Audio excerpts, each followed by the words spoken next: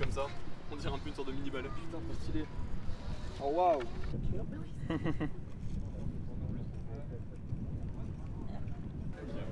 En gros, euh, euh, une la douche, c'est genre 15 minutes d'eau. Autant de la douche, À la douche, ouais. dire. Ça marche. Euh, si tu veux, je peux te passer euh, une petite carte postale. De fou. Oh, let's go. tu-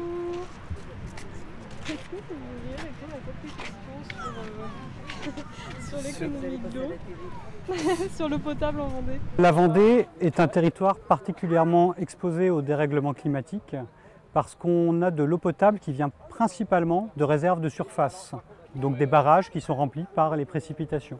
Donc avec des étés de plus en plus secs, on a un stress hydrique qui s'installe et parallèlement à ça, on a de très fortes consommations estivales et en été, on se penche davantage vers les touristes qui sont majoritairement présents sur le littoral et on veut les inciter à économiser l'eau. Et c'est l'objet bah, de cette campagne, de ce Vendéo Challenge qu'on a lancé cette année pour vraiment venir dire aux 5 millions de touristes qui viennent en Vendée chaque année, euh, vous êtes les bienvenus, mais soyez quand même vigilants dans vos usages de la ressource parce que vos consommations ont un impact global sur la ressource en eau en Vendée.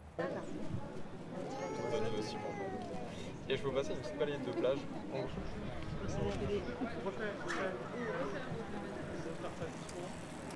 oui, C'est logique pour oui, vous, mais il y oui, a des oui, gens, oui, euh, je sais. Le but, c'est pas du tout de faire culpabiliser les gens, bien au contraire. euh, La majorité des gens font déjà des, des éco-gestes euh, et c'est très bien. On essaie juste de leur en montrer d'autres qui peuvent euh, appliquer au quotidien et qui sont pas très compliqués.